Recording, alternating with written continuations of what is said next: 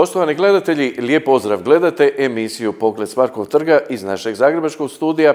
Meni je čast i zadovoljstvo upravo pozdraviti našeg današnjeg gosta, Karla Reslera, zastupnika u Europskom parlamentu. Karlo, dobrodošli.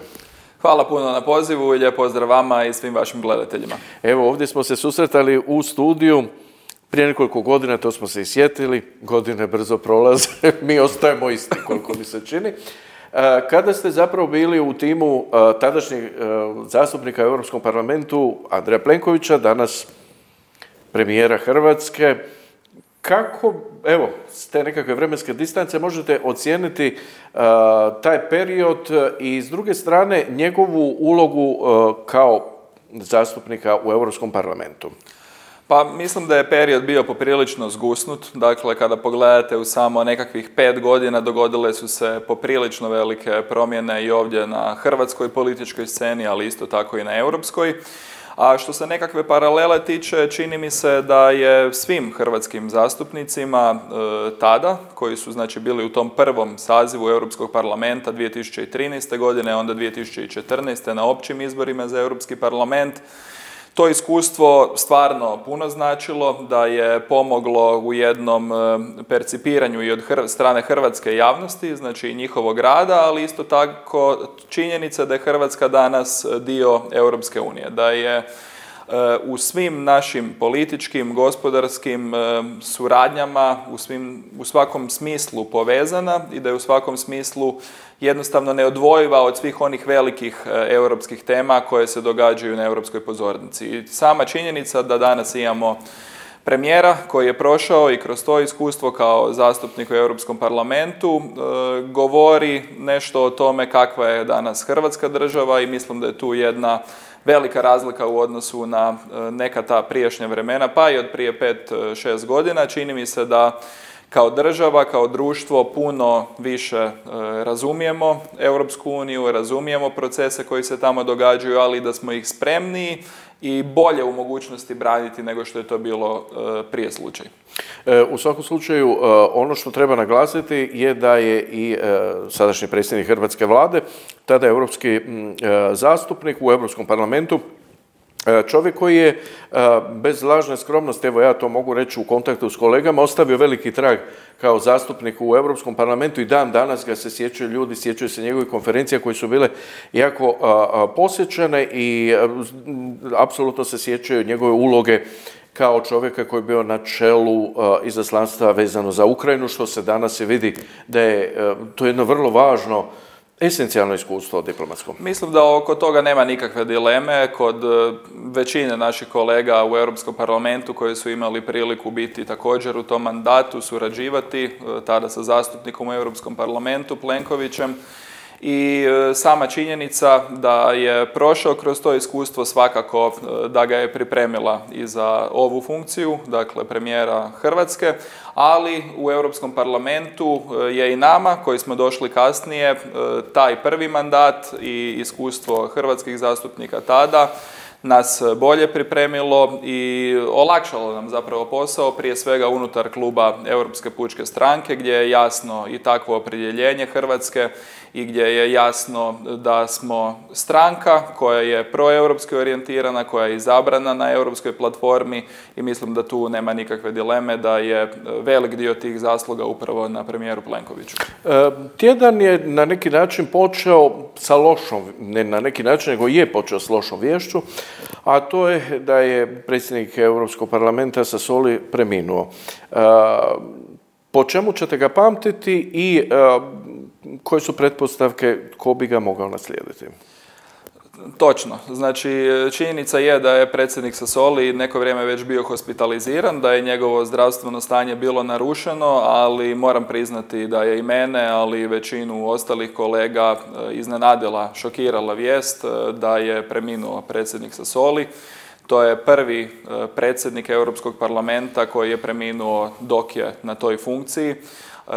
Preminuo je u jednom e, trenutku u kojem se unutar Europskog parlamenta događa e, promjena, znači i predsjednika, ali isto tako i potpredsjednika na polovici mandata, gdje se sada nalazimo, dakle od srpnja, 2000, od srpnja 2019 do srpnja 2024. traje mandat i na ovoj polovici nekako većina tih promjena se upravo događa.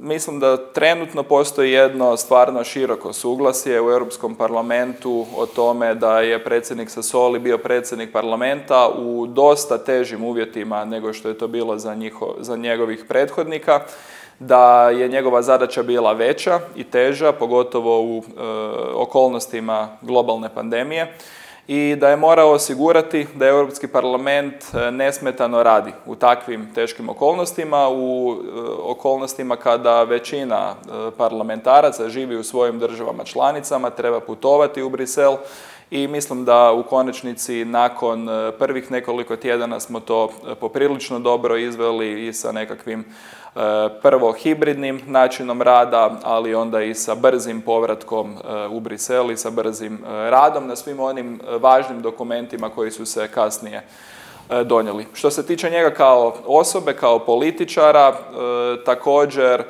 je jasno da je imao europsku viziju, da je vjerovao u Ujedinjenu Europu, da je bio vjerovao i u to da Europa može postati socijalno pravednija, da može biti još povezanija i u tom smislu e, ostavio je svakako velik trag i u našoj instituciji, u Europskom parlamentu, ali na širokoj europskoj sceni i čini mi se da će po tome biti pamćen.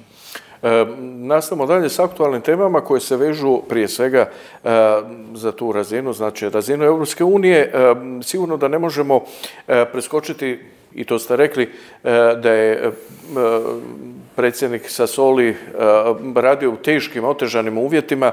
To su uvjeti pandemije. U ovom trenutku oni nisu nimalo lakši.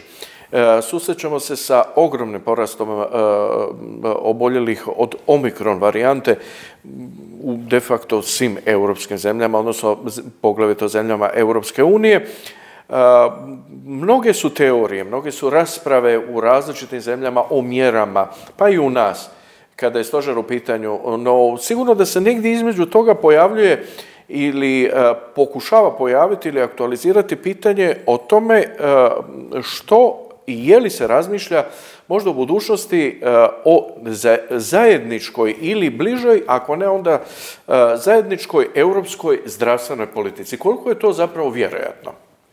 Pa, meni se čini poprilično vjerojatno da će se ići u smjeru još jače koordinacije, usklađivanja europske politike i na području zdravstva, jer je poprilično jasno da ne postoji država članica, ne postoji država na svijetu koja može sama usporiti kretanje virusa, koja može sama upravljati pandemijom i zbog toga Europska unija tu ima važnu ulogu e, upravo e, velike, snažne koordinacije između država članica, zajedničkog djelovanja, ali isto tako i unapređivanja zdravstvenih sustava gdje još uvijek postoje velike razlike i to je nešto čime se aktivno bavimo i u Europskom parlamentu.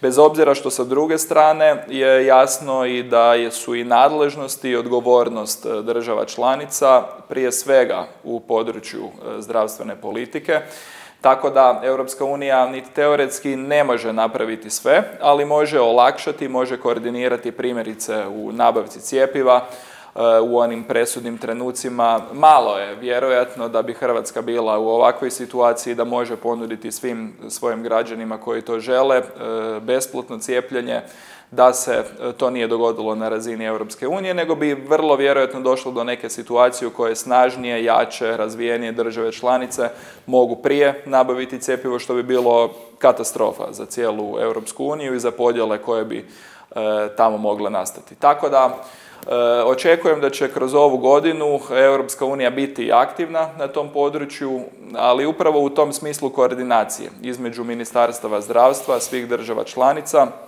Vidimo da se trenutno e, nova varijanta širi puno brže. E, nadamo se, međutim to je daleko od toga da je izvjesno za očekivati do kraja ove godine, da će postati e, pandemija i COVID na neki način endemska bolest sa kojom ćemo se suočavati kao što se suočavamo sa nekim drugim zaraznim bolestima, ali se nadamo da će uz cijepljenje, uz činjenicu da će dobar dio ljudi i morati preboljeti bolest, biti znači manja razina smrtnosti koje svjedočimo ovih dana. upravo tu ste otvorili još jednu temu, a to je i to su zapravo mjere koje provode sve europske zemlje, e, one imaju svoje stožere, stožeri odlučuju. O tome negdje su mjere vrlo stroge. Mi se možemo pohvaliti u Hrvatskoj da su s obzirom na neke druge zemlje u okružju ili u Europskoj uniji naše mjere bile i tekako vodile računa o tome da živimo što je moguće normalnije. No, s druge strane, kako komentirate onda i u tom kontekstu rad našeg stožera ovdje u Hrvatskoj, ali i nekih slobodno mogu reći, ekstremnih politika i njihove inicijativa da se ono što stožer odlučuje prebaci na sabor i da sabor odlučuje o stvarima o kojoj odlučuje u ovom trenutku stožer. Koliko mislite da bi to moglo biti dobro, efikasno ili e, koliko bi zapravo moglo pomoći u borbi s pandemijom uopće? Realno ne čini mi se to kao ideja koja bi nas oslobodila svih ovih problema, znači odlučivanja u vrijeme pandemije, upravljanju pandemijom. Nažalost vidimo da u velikom dijelu država članica, ne samo u Hrvatskoj, različite oporbene stranke e, i sa ljevice i sa desnice, dakle pokušavaju osporavati postupanje vlasti u, tom, e, u tim trenucima. Jasno je da postoje različiti pristupi unutar e, Europske unije, vidimo i globalno,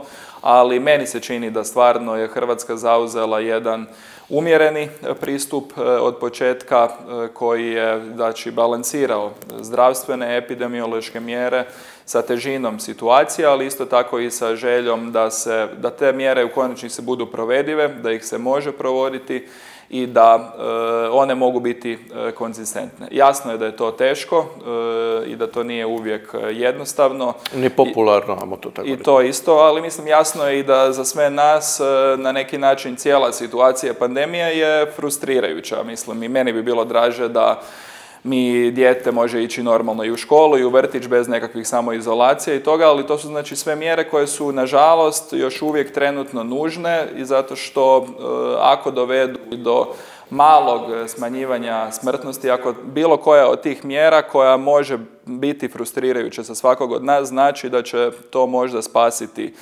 nečeg člana obitelji. E, mislim da u konačnici svi imamo nekakvu osobnu odgovornost e, da poslušamo i taj savjet, znači ljudi koji se time bave e, cijeli svoj život, prije svega znanosti, onih koji su u zdravstvu, tako da mi se čini pogrešno, znači pokušavati pretjerano politizirati tu temu, iako razumijem da to nisu samo zdravstvene teme, nego to jesu i političke teme, ali u konačnici kao što bi svaki građanin trebao imati nekakvu svoju osobnu odgovornost, mislim da bi političari, pogotovo izabrani predstavnici, trebali imati posebnu dozu odgovornosti kada govore i raspravljaju o takvim stvarima, jer je situacija teška za sve nas i onda je jasno da se lagano i manipulira sa informacijama. E, nastavno dalje, izaćemo sad malo iz teme e, pandemije koja, e, bez nje se ne može, jednostavno ne možemo preskočiti, ali mislim da ima tu još važnih tema. Život ide dalje, što bi se reklo. Hrvatska 2023. godine, e, prema hodogramu same vlade, trebala bi prići s hrvatske kune na euro. Koliko nas zapravo u tom poslu može usporiti aktualna situacija pandemije i e, e, efekata uopće na gospodarstvo i gospodarske trendove koje očekujemo u 2022. godini. Znači, u 2022. godini očekujemo da ćemo imati ključne korake i prema našem ulasku u Schengen, ali isto tako i prema ulasku u europodručje, dakle uvođenje eura kao službene valute i u Hrvatskoj.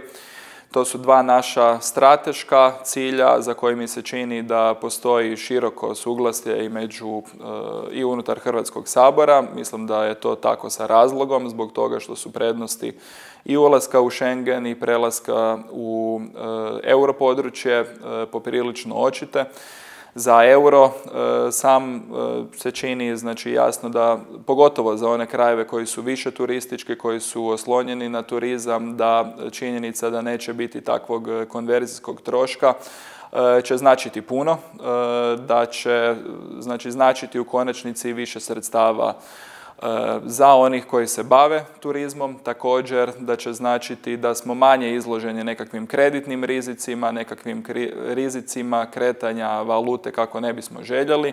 I to su sve neke prednosti koje očekujemo vidjeti, ali e, najveća prednost bi trebala biti za poduzetnike, za izvoznike, za one koji se e, bave biznisom, za one koji znaju koliko je teško proizvesti nešto, koliko je teško znači na svakodnevnoj razini konkurirati e, na europskom tržištu sa izvrsnošću i slično kao što je 2013. godina bila na neki način prijelomna godina u smislu snažnijeg hrvatskog izvoza, to ćete čuti od gotovo svih kompanija koje su izvozno orijentirane. Nadamo se da će tako e, sa hrvatskim ulaskom u europodručje kao i u Schengen se maknuti još te dodatne barijere koje trenutno postoje i da će hrvatski poduzetnici, jednako kao i hrvatski građani, u konačnici biti ravnopravniji unutar Europske unije nego što su to danas.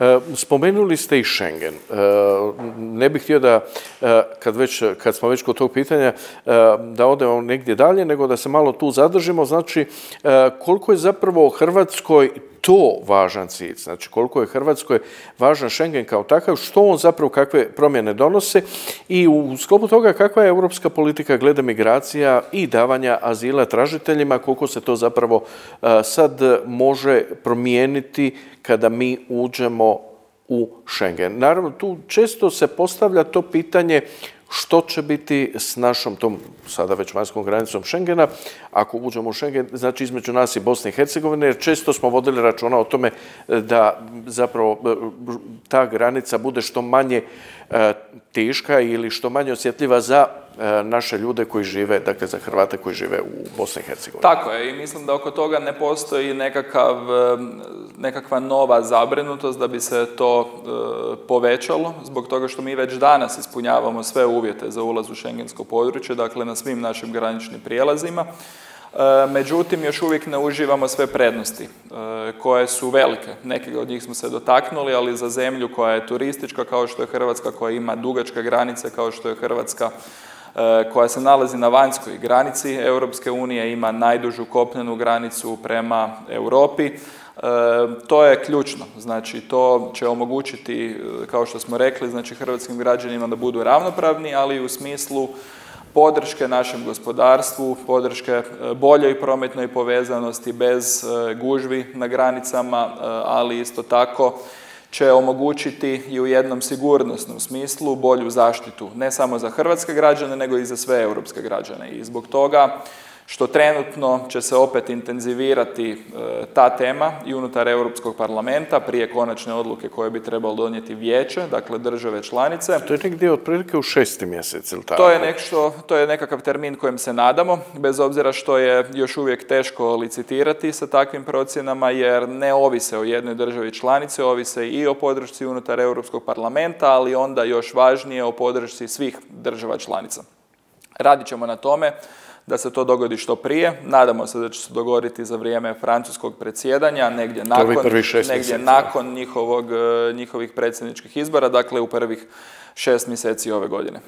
E, kada govorimo o europskim sredstvima iz omotnice 21-27, e, one su važna, to znamo svi kao pokretač razvoja hrvatskog gospodarstva prije svega, a kroz infrastrukturu europska sredstva zapravo stuboko mijenjaju e, izgled e, i e, funkcionalnost naše zemlje. Uzmimo samo Pelješki most koji je možda najočitiji za sve, kao nešto, kao jedan simbol, infrastrukturni simbol koji je upravo izgrađen zahvaljujući europskim sredstvima, ali ja bi možda pripomenuo i Splitsku gradsku luku Porat koji izgleda fenomenalno, koji također se naslanja na europska sredstva stvarno čovjeka to sad vidi, wow, evo, čekamo svaki dan da se to otvori, znači Spličani mogu vidjeti što taj europski novac može napraviti i što se s njim može napraviti.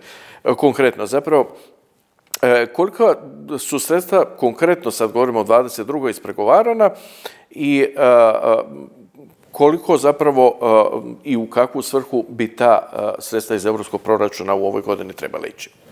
Takvih primjera je stvarno puno, znači jasno i ove koje ste spomenuli, ali Splitski aerodrom, Dubrovački aerodrom, luke na hrvatskim otocima, e, prometna povezanost, dakle to su sve područja u kojima se kroz europska sredstva na način koji mi odredimo u Hrvatskoj, koja su pametni, ali jasno uz, u smjernicama i u nekakvom okviru i europskih e, regulativa možemo utjecati na to da se napravi jedan zamašnjak i razvoju hrvatskog gospodarstva, e, povećanju kvalitete života u svim dijelovima Hrvatske i to je nešto za, što je jako bitno. Trenutno, konkretno na raspolaganju imamo preko 25 milijardi eura za sljedeće sedmogodišnje razdoblje, što će nam značiti puno, što je stvarno jedna ogromna generacijska prilika za cijelu državu, da to iskoristimo učinkovito, ali da to iskoristimo kvalitetno na ona područja i na one projekte koje stvaraju nekako najveću dodanu vrijednost. E, i tu po meni ne bi trebali raditi nekakvu lažnu dilemu između ulaganja u privatni sektor i ulaganja u javni sektor, jer s jedne strane jasno je da će privatni sektor i znači privatna kompanija pronaći najbolje načine da napravi obrt sredstava, da napravi nešto što je korisno e, za njih, ali u konačnici za sve one koji tamo rade i za nekakvu društvenu zajednicu. Dok sa druge strane e, je važno ulagati u javni sektor jer javni sektor to mora praviti i e, pratiti i kroz sustav obrazovanja kroz prometnice, svu onu infrastrukturu, sada i u ovim digitalnim uslugama e, je vrlo bitno da znači prati i da rade u koordinaciji u jednoj suradnji jer je to onda ključ uspjeha za cijelu Hrvatsku. E, mi ćemo se sada malo odmoriti e, uz jedan kratki EPP blok. Nastavit ćemo dalje s temom koja je vrlo interesantna i svih nas jako interesira. Vaše iskustva su tu velika. Radi se o Bosni i Hercegovini. Dakle, ostanite poštovani gledatelji uz nas. Vraćamo se s aktualnim europskim i temama iz našeg susjedstva.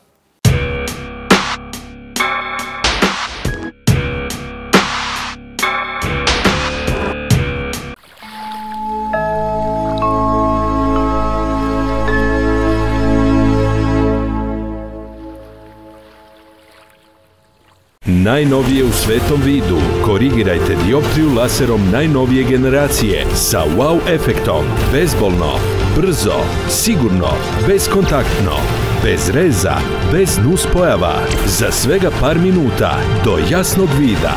Specijalna bolnica Sveti vid Beograd. Antibakterijski gel s dodatkom aloe vera obogaćen vitaminima A, D i E. Uništava 99,9% virusa i bakterija. Biocidni pripravak u svim ljekarnama. Renomirani proizvođač medicinskih pomagala ima hit proizvod na našem tržištu, a to je zaštitna maska za lice. Maska ne propušta vodu. Može se u kontinuitetu nositi čak do šest mjeseci. Maska je posebno dizajnirana s bočnim rupicama za cirkulaciju zraka koje su zaštićene pregibima od vanjskih utjecaja. Svaku večer dovoljno ju je očistiti dezinfekcijskim sredstvom. Za potpunu zaštitu preporučujemo upotrebu zaštitne maske za lice uz korištenje DOC dezinfekcijskog gela koji je prisutan na tržištu u više boja.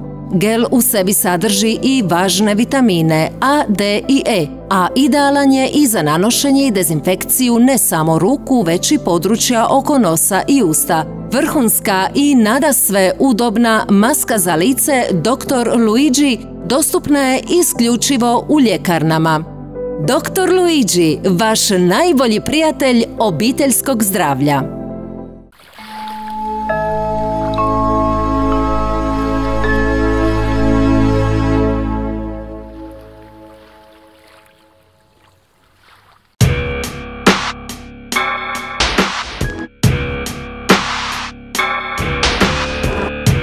Poštovani gledatelji, za one koji su se naknadno uključili, zastupnik u Europskom parlamentu, Karlo Ressler, naš je gost e, u e, emisiji Pogled s Markovog trga. Gospodine Ressler, e, stanje u Bosni i Hercegovini je komplicirano, kompleksno, zahtjevno i sve u tom smislu možemo naredati nekakve pridjeve. Kako zapravo u ovom trenutku ocjenjujete odnos u toj zemlji? Upravo ste svježe od tamo. E, što će biti s ovom najavljenom, a nikako realiziranom promjenom izbornog zakonodavstva? Kako komentirate Dodigov secesionizam i kakva je budućnost te zemlje, ali i zemalja cjelokupnog zapadnog Balkana koji su negdje na nekom kolodvoru ranžirnom gdje čekaju, pa mi se malo sviđa, malo ne sviđa, malo bi, malo ne bi. Kako zapravo, evo, iz vaše percepcije to izgleda? Puno je pitanja, ali ajmo krenuti možda od početka. Znači, Izvolite. počela je u Bosni i Hercegovini izborna godina, znači da je krajnje vrijeme da se pokuša u ovim nekim finalnim sada pokušajima dogovoriti e, reforma izbornog zakona, dogovoriti neke odredbe koje je Ustavni sud, znači Bosne i Hercegovine, proglasio neustavnima i koje su jednostavno nužne kako bi se izbori e, mogli e, zakonito, legalno održati. Po mom dubokom uvjerenju ovo je godina koja je prijelomna, znači i za budućnost hrvatskog naroda u Bosni i Hercegovini, ali isto tako i za cijelu zemlju, Bosnu i Hercegovinu. To je i razlog zbog kojeg smo e, bili e, posjetili Mostar, Kiseljak, Kreševo i Sarajevo sa cijelim nizom razgovora. Dakle, kolege iz e, IPP delegacije Hrvatske, Tomislav Sokol, Željana Zovko i Sunčana Glavak. I, I vi. I jasno i dobili znači dojam iz prve ruke kako to izgleda. Trenutno u Mostaru koji su ključni problemi, jasno je da pratimo to na jednoj redovitoj razini, ali željeli smo pružiti i podršku nastojanjima e, predstavnika Hrvata u borbi za ravnopravnost u Bosni i Hercegovini sa jedne strane, ali sa druge strane dobiti jednu neposrednu informaciju u cijelim tim zahtjevnim okolnostima kako trenutno jesu. U Sarajevu smo se sastali i sa e, znači, voditeljem europske delegacije e, u Bosni i Hercegovini, Satlerom, koji nas je također izvijestio o europskim e, naporima, svemu onome što se pokušava napraviti. Međutim, po mom uvjerenju, bitno je da dođe do suglasja, do dogovora između tri konstitutivna naroda. E, Dejtonski sporazum završio je krvavi rat, najveći sukob na europskom teritoriju nakon drugog svjetskog rata ali e, je isto tako uspostavio ustavno uređenje zemlje u godinama nakon Daytona, koje još uvijek traju i koje je zapravo jedino moguće rješenje da se uvaži e, realnost činjenice da u Bosni i Hercegovini žive tri naroda koja moraju biti ravnopravna, koja moraju biti konstitutivna i jednostavno bitno je da u njihovim dogovorima dođe do nekakve održive budućnosti, stabilnosti zemlje i da dođe do održavanja izbora prema tim e, pravilima. Jasno je da je za Hrvate najbitnije da se ne ponovi situacija u kojoj drugi narodi Hrvatima biraju naše političke predstavnike, jer to nije nešto što je normalno, to nije nešto što može postojati i na europskoj razini, ne postoje takve primjeri, dakle kada je država u takvom stanju, kada država posložena na takav način da se uz uvažavanja jasno e, i građanskog principa u smislu uvažavanja individualnih prava svakog građana, ali isto tako e, se mora biti jasan oko toga da to nije u suprotnosti sa kolektivnim pravima e, naroda koja postoje, koje su tamo realnost i koja će se morati uvažiti. E, u svakom slučaju, li ocjenjujete da bi zapravo ovi ciklus izbora, ovaj ciklus izbora koji slijedi ove godine ipak mogao biti po novim, odnosno promijenjenim izbornim pravilima, hoće li doći do kompromisa sa glavnim pregovaračom opet realni, a to je SDA. Pa ja mislim da je ključno da tog e, pomaka dođe, da je nužno e, poboljšati te e, odnose prije svega u federaciji sa bošnjacima. Jasno je da to nije... Evo sad se susreo da, da spomenem premijer sa Bakirom Izetbekovićem u Dubrovniku. Jasno je da to nije jednostavan zadatak, ali mislim da je u konačnici nužno jer moramo biti realni oko toga da se neće dogoditi nekakva deus ex machina situacija u kojoj će netko doći presjeći čvor i prisiliti jednu stranu da popusti do krajnosti, nego je nužno naći nekakav kompromis, nužno je naći nekakvo održivo rješenje za nas koje će osigurati da Hrvati mogu ostati tamo, ali da mogu birati svoje političke predstavnike na svim razinama, da mogu sudjelovati u vlasti i da se stvarno u Bosni i Hercegovini mogu osjećati kao u svojoj državi jer je to važno. To je važno za budućnost, za stabilnost, za mir u Bosni i Hercegovini i nadam se i vjerujem da će biti moguće do raspisivanja izbora u svibnju doći do nekakvog takvog rješenja koje će osigurati da Hrvati mogu legitimnog predstavnika birati. Predsjednik Hrvatske vlade tu je zapravo neprikosnoven kada je u pitanju stav o Bosni i Hercegovini. On je vrlo jasno rekao da apsolutno nema teorije da podrži bilo kakav secesionizam ili bilo što što bi vodilo prema dezintegraciji Bosne i Hercegovine. Naravno da moje pitanje ide u pravcu upravo takvih secesionističkih tendencija koje postoje u drugom entitetu, a to je Republika Srpska. E, kako to komentirate i kakva je budućnost takvih težnji? Pa, e, mislim da je oko toga i Europski parlament poprilično jasan, da je pozicija Hrvatske oko toga jasna, znači da unutar Bosne i Hercegovine i svi takvi e, separationistički, ali isto tako i unitaristički elementi e, se moraju u konačnici pomiriti, da nemaju budućnost sami po sebi jer razaraju na sličan, na, na, na različit način, ali u sličnom obimu. Razaraju Bosnu i Hercegovinu, i mislim da je u tome i uloga hrvatskog naroda presudna kao jednog elementa koji e, je u Bosni i Hercegovini i koji, bi, koji se na neki način nekada nalazi između takve dvije krajnosti i to je jedan veliki problem, ali isto tako da može pokazati ovo što sada pokazuje Republika Hrvatska i što se mi nadamo da, će, da mora pokazati još snažnija i Europska unija sa svojim angažmanom da niti e, separatizam Republike Srpske ovo obilježavanje takozvanog e, njihovog dana Republike kojeg smo svjedočili 9. siječnja, 30. obljetnica ove godine. Republika koja zapravo ne postoji, jel? Tako je. To je entitet, da. Tako je, ali vidimo da postoje takve tendencije. Oko takvih tendencija mislim da ne smijemo biti naivni, ne samo e, kada je u pitanju Republika Srpska, nego generalno e, pitanje takozvanog srpskog sveta u cijeloj regiji i da moramo znati i odgovoriti na to. E, ovdje sada dolazimo do jednog pitanja koje je možda e, esencijalno najvažnije, a tiče se i e, Hrvata u Bosni i Hercegovini, prije svega najviše se tiče Hrvatske. Vi ste u parlamentarnoj međuskupini za demografiju. Koliko je demografija važno pitanje za Europu, koliko za Hrvatsku, koliko su važne demografske mjere koje provodi hrvatska vlada i možda jedan komentar vezano uz ovaj uz podatak uh, koji smo, evo, uh, svi se upoznali od Zavoda za statistiku, a to je da nas je 3,8 3, milijuna i 880 tisuća, ako ovako e, okruglo mogu reći. Kako zapravo e, doživljavate taj rezultat i evo, komentar tih mjere, koliko je demografija važna? Pa i taj podatak e, Zavoda za statistiku, ali isto tako i mnogi drugi podaci kojima svjedočimo godinama i u Hrvatskoj i u Europskoj uniji pokazuju da je to pitanje koje nije kao neko drugo pitanje, nego je stvarno pitanje od strateške važnosti za budućnost Hrvatske, za budućnost Europske unije.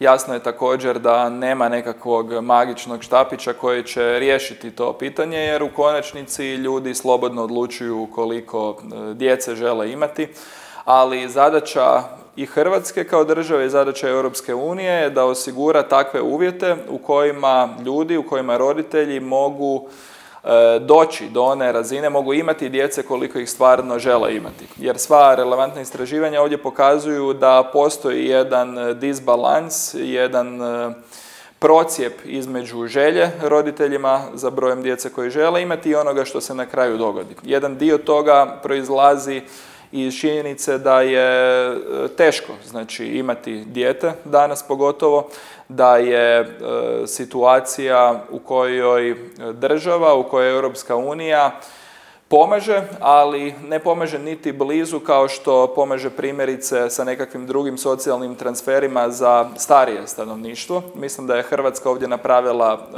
velike korake u proteklim godinama sa jednim snažnijim fokusom na to pitanje. E, pokušavamo to promovirati na razini Europske unije, znači upravo sa snažnim pozicioniranjem te teme na europskoj agendi i došli smo do toga da danas Europska komisija po prvi puta ima portfelj e, upravo za demografiju kojeg prati i kojeg predvodi naša potpredsjednica Europske komisije Dubrovka Šujca koja ima zadatak jedan pionirski zadatak stvoriti zapravo okvir Europske unije u području negativnih demografskih trendova, u području demografske tranzicije koja se događa u velikom dijelu Europske unije, zapravo u svim državama članicama samo na različite načine. I sada je izazov da se i država i da se Europska unija sa time uhvati u koštac i da pomogne, znači podrži roditelje,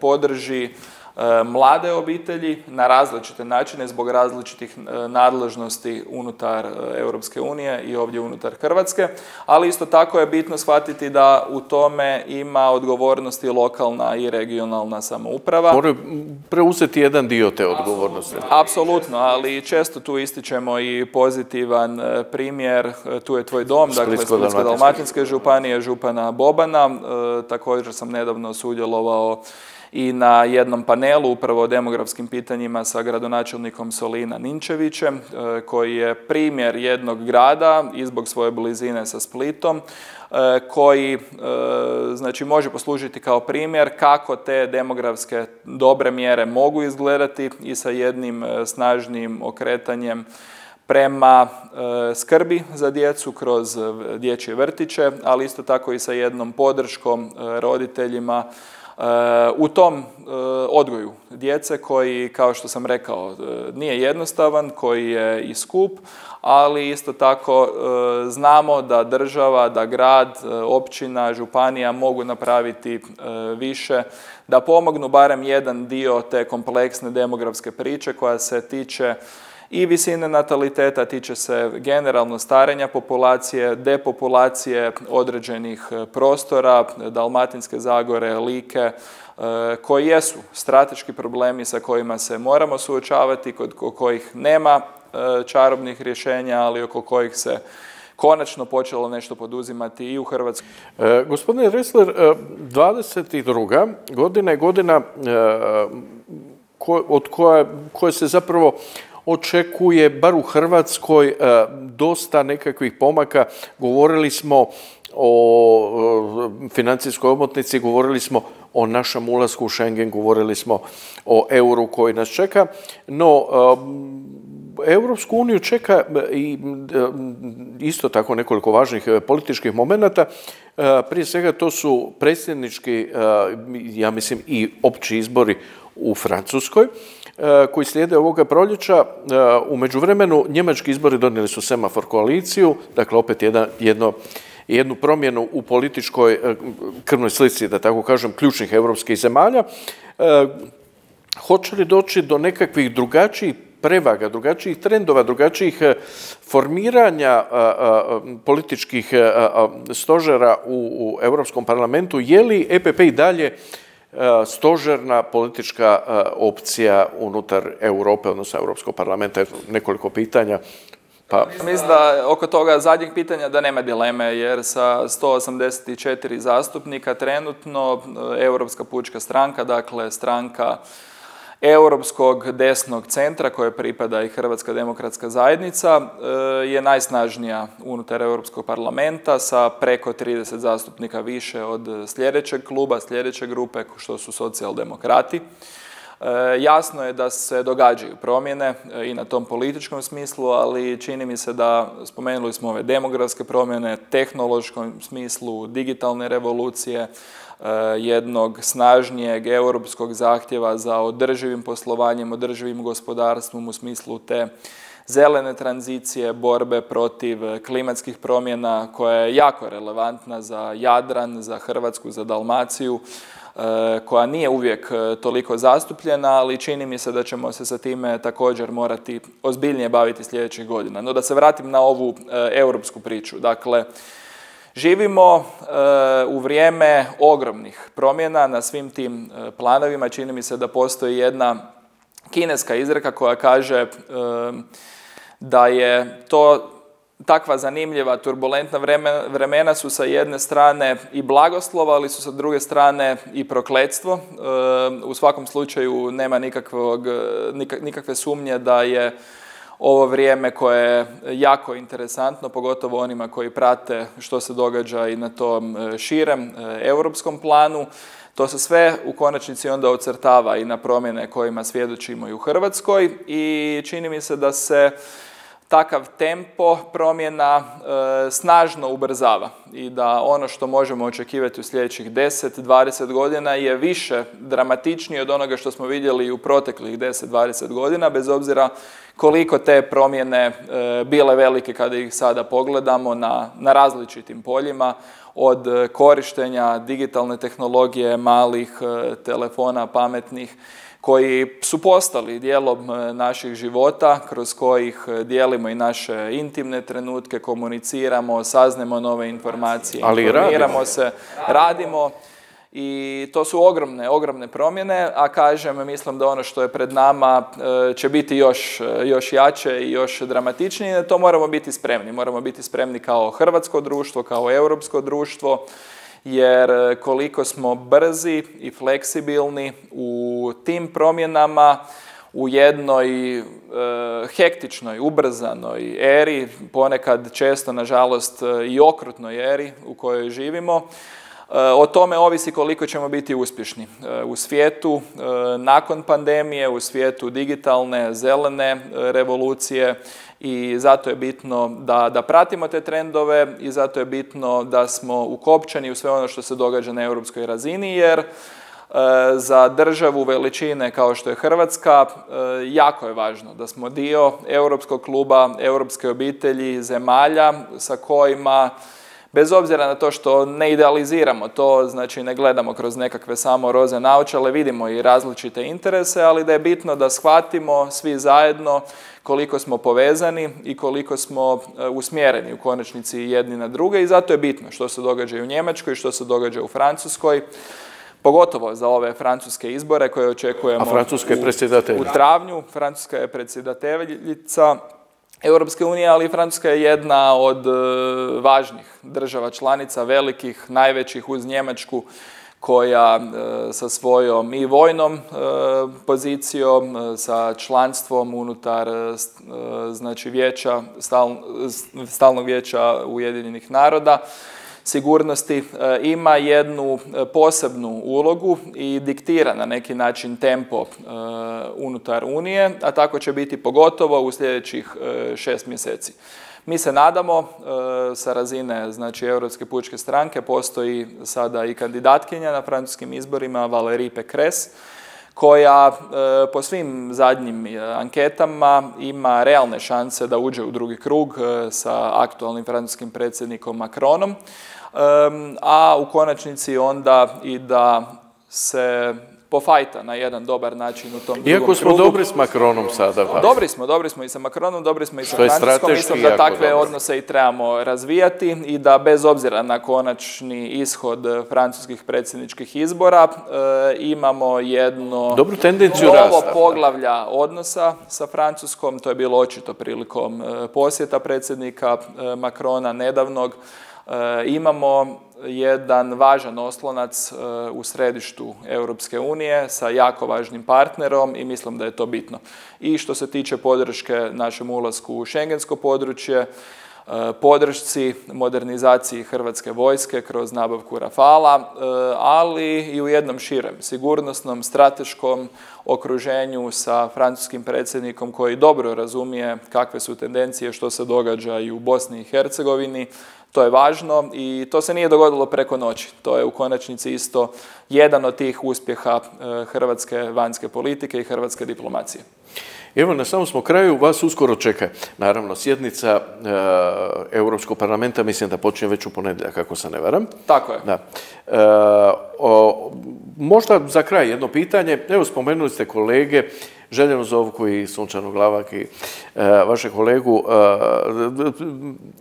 dosta komuniciram s njima, pogotovo evo sa gospođom Zovkom koja e, njeno sjedište za Hrvatsku upravo u Splitu, pa smo nekako najbliži, iako evo vas možda od svih njih znam e, najduže, pa onda i gospodina Sokola, pa i njih. E, kako zapravo, evo, je li se družite i u Briselu, kako zapravo izgleda vaša međusobna komunikacija, ne samo vas koji dolazite i koji ste dio EPP-a, nego i sa ostalim hrvatskim zastupnicima u uh, Europskom parlamentu? Jel onako zaružite nekad? Kakva, kakva su ta druženja?